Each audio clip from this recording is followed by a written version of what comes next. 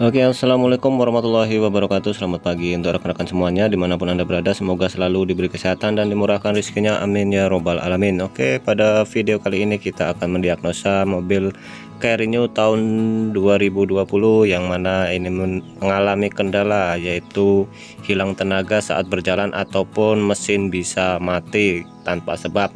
Oke maka dari itu akan kita lakukan diagnosa menggunakan scan uh, untuk mengetahui apa yang menjadi penyebab mobil ini tidak bertenaga ataupun mesin bisa mati oke okay?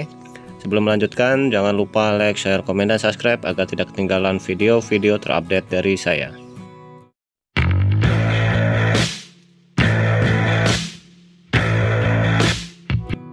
Oke ini adalah tampilan dari scanner kita yang sedang mendiagnosa mobil Carry New 2020 ya.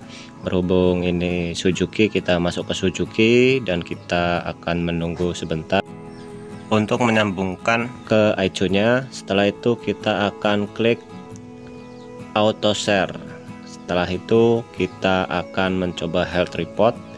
Di sini kita akan menunggu sampai 100% oke lor untuk ECM ataupun engine control module sudah terdeteksi satu permasalahannya yang nantinya kita akan mengetahui apa yang menjadi penyebab mobil ini bisa bermasalah.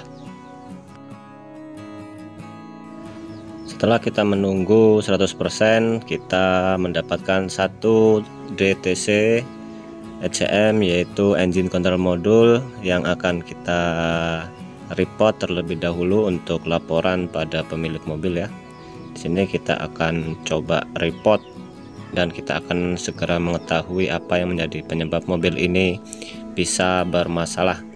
Oke kita sudah mendiagnosa dan inilah hasil dari scan yang kita lakukan tadi. Di sini ada DTC P0335 yaitu Kensaf posisi sensor.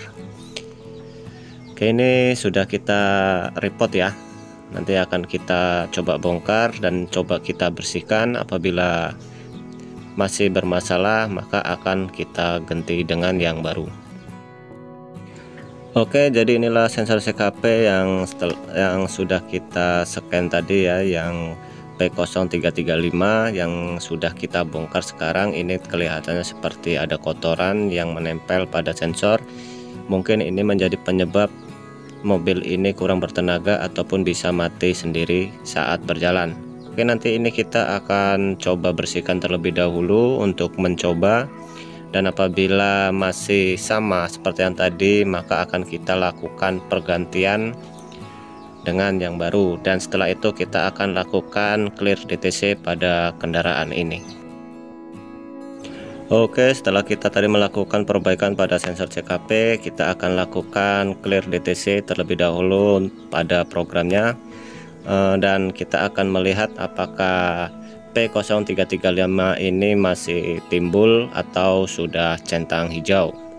Di sini untuk ECM sudah centang hijau dan tidak ada DTC yang terlihat di sini. Lur ya mungkin itulah penyebabnya mengapa mobil ini bisa jadi kurang bertenaga ataupun kadang-kadang mati di jalan. Dan Alhamdulillah setelah kita coba bawa jalan tidak ada kendala pada mobil ini.